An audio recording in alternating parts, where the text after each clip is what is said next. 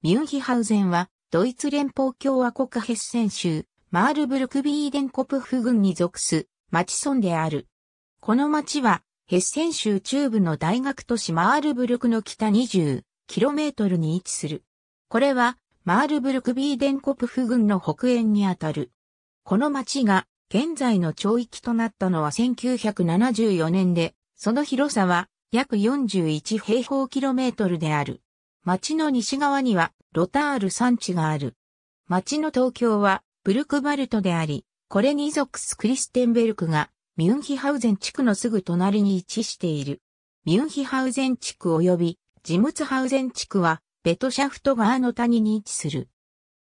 ボルマー地区は同名のボルマー川沿いにある。この川はミュンヒハウゼンでベトシャフト川に合流する。オーバーアスフェ地区及びニーダーアスフェ地区はアスフェー川が流れている。ミュンヒハウゼンの町は鉄道バーブルクザルナウ線沿線に位置している。この路線のミュンヒハウゼンを含む南部分はブルクバルト鉄道と呼ばれている。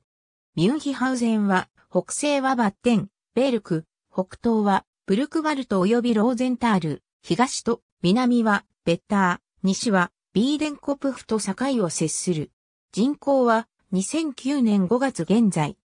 ミュンヒハウゼンアムクリステンベルクの町は1974年1月1日にヘッセン州の地域再編に伴ってそれまで独立した町村であったミュンヒハウゼン、ジムツハウゼン、ニーダーアスフェ、オーバーアスフェ、ボルマーが合併して成立した。ミュンヒハウゼンの町議会は23議席からなる。